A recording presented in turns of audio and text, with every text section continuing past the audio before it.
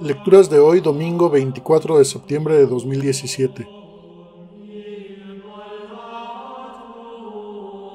Primera lectura. Lectura del libro de Isaías.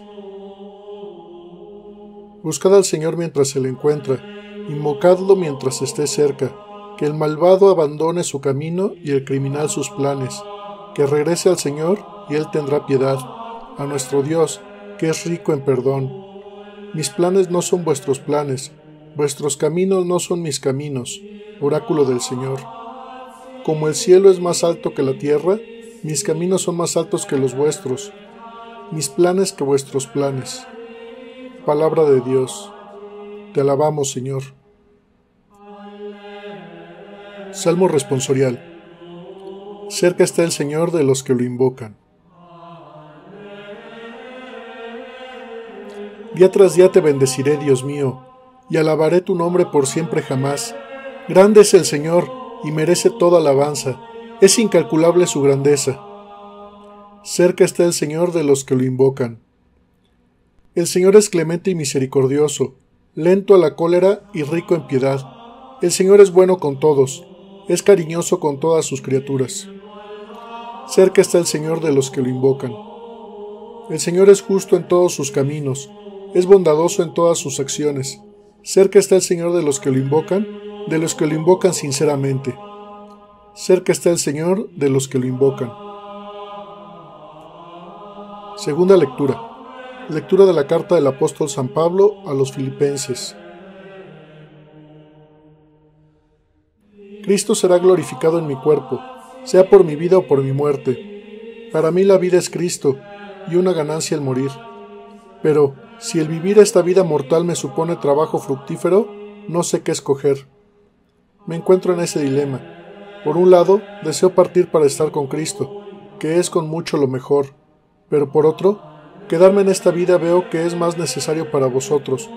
Lo importante es que vosotros llevéis una vida digna del Evangelio de Cristo. Palabra de Dios. Te alabamos, Señor. Evangelio de hoy. Lectura del Santo Evangelio según San Mateo. Gloria a ti, Señor.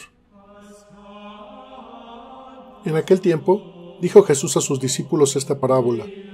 El reino de los cielos se parece a un propietario que al amanecer salió a contratar jornaleros para su viña. Después de ajustarse con ellos en un denario por jornada, los mandó a la viña. Salió otra vez a media mañana, vio a otros que estaban en la plaza sin trabajo y les dijo, Id también vosotros a mi viña, y os pagaré lo debido. Ellos fueron. Salió de nuevo hacia mediodía y a media tarde e hizo lo mismo.